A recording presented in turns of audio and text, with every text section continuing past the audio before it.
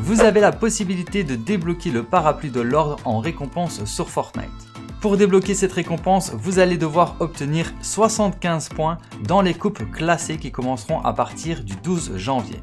Et pour obtenir ces 75 points, vous aurez 4 heures au total pour lancer autant de parties que vous voulez.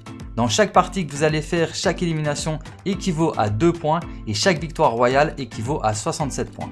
Alors ce qu'il faut savoir à propos des coupes classées, c'est qu'elles sont jouables en zéro construction et en battle royale normal. Et la première coupe qui sera en solo commencera le 12 janvier à partir de 19h jusqu'à 23h.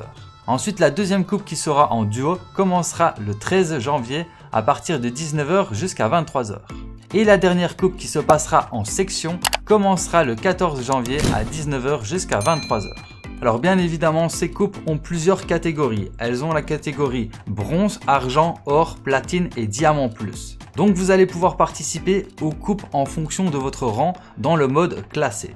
Et dernière information à propos de la récompense, le parapluie sera complètement customisable en fonction de votre rang. Donc si vous êtes Unreal, ben là vous débloquerez toutes les variantes du parapluie.